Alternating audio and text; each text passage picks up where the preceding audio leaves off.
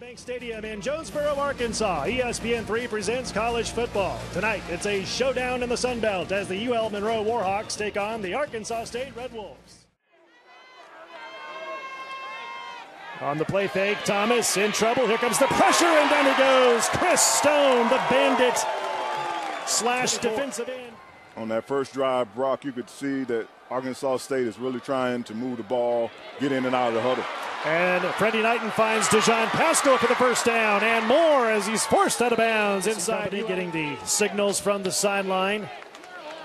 On second down and five, Thomas bobbled the snap. Here comes the pressure, and down he goes. Xavier Woodson credited with the brings up third down and 12. Thomas swings it out to Tyler Kane, who bobbles it, makes the grab, and then Xavier Woodson makes back-to-back Ability tackles. of Fredi Knight and getting him out of the pocket on some rolls. Knighten hit as he throws. Ball is batted around, and it's intercepted by Mitch Lane of ULM. And for the 31st yards per carry at over seven yards a carry in a game that season. Fumbles the football, ball loose on the ground, picked up by Arkansas State, and they say the play is dead. They say the play is dead. No turnover picked up by Arkansas. Headset. the review, the ball was fumbled prior to being down.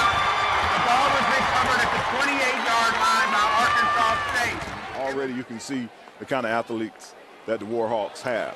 Michael Gordon on the end around sweep, and he is forced out of bounds, but not before he gets the first on the year coming into this game tonight.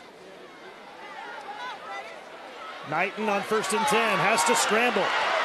Pass midfield inside ULM territory and forced out of bounds. Jennison prefers that than just throwing the ball up. And a reverse from Gordon to J.D. McKissic.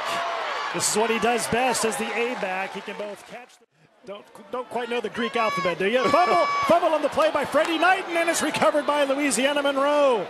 Justin, no, it's uh, off this week. They have New Mexico State at home next weekend.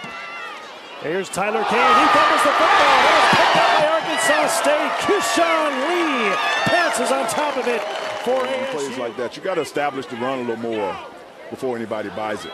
Knighten feels the pressure over the middle, wide open grab made by Dijon Paschal, and he's got the first down for Arkansas State. Thomas out of the pocket, he comes the pressure, and he goes! Caleb Caston, number 54, the defensive end.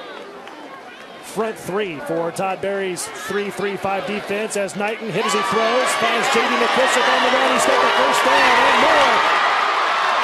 Down the sideline he goes, and he's down to the 30-yard line. Kind of line. throw the ball in any part of the field that you want to. Here comes the pressure, and down goes Thomas. Arkansas State ball, but deep in its own territory. Michael Gordon on 19. Jaron John. Knighten over the middle finds J.D. McKissic, the A-back, has the first down and more as he's ankle tackled from behind. Time ago, came back, felt this was the right time to take that first head coaching job as Michael Gordon breaks a tackle and has all kinds of daylight. One man to beat, and he's taken down at the three-yard line. It'll be first down and goal to go for Arkansas State. Down within inside the five. Fredi Knight, another quarterback keeper, jogs into the end zone. Touchdown, Arkansas State. Fredi Knighten, his third rushing touchdown of the season. Third down and six. Thomas feels the pressure. Steps up, hit as he throws, hit by Rocky Hayes as he threw the football. It's incomplete. Huge hit by. Little screen set up for Michael Gordon. He's got it has some room. It is a first down at the 35.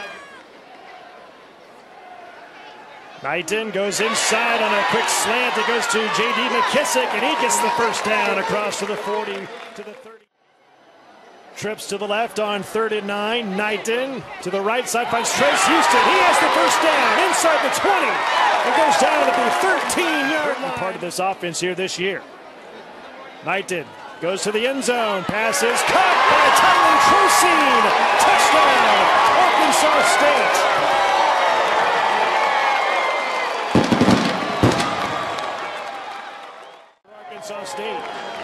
Just a nice ball.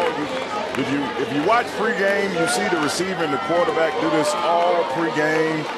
Just throw the ball where only the receiver can catch it. Trocine focused on the ball. Nice grab. And the Hounds of the Howl here at Red Wolves Centennial Bank Stadium. And here is Michael Gordon breaking loose down the right, left sideline. There he goes out of bounds, and he's forced out. Nothing Arkansas State with the lead. Knighten throws and is picked off by Justin Bacchus. Bacchus on the return. That's the third turnover. And now Pete Thomas and UL Monroe will try and cut this lead in half if they can. Thomas going to air it out down the middle, wide open at Jalen Holly. He will not be touched. He's in the end zone. Touchdown, Louisiana Monroe. Four wide receivers for Knighten to work with on second down and seven, and Knighten keeps it himself, has a first down, breaks and tackles, he's in the end zone. Touchdown, Arkansas State. Fredi Knighten with his second rushing touchdown of the night. Fredi Knighten does it again. His third touchdown of the night, his second rushing the football. 21-7 ASU. Man for it's a fake, and Manton throws it. It's caught, but well short of the first down. Harley Ciano, the backup tight end, caught it. He didn't even go. I didn't. Come on, one more. Here is Michael Gordon trying to turn the corner and trying to perhaps put this one in the books. It's already a two touchdown outs remaining, 9.20 to go. Knighten keeps it himself. He will go to the corner and score. Touchdown, Fredi Knighten, his third rushing touchdown of the night and his fourth overall in the game. Once again, a fake to Gordon. Everybody goes with him. Nice block on the edge by Darian Griswold. Brown in the hurry up finds a wide open Kinsey Jackson, and he's into the end zone. Touchdown, ULM. Sunbelt and beats Louisiana Monroe 28 to 14. Defensively, Arkansas State and their fans should be happy. They have a defense to go along with a growing offense in Fredi Knighten, a healthy J.D. McKissic, and Michael Gordon back. Makes for a very dangerous team and a great possibility of winning their fourth conference championship.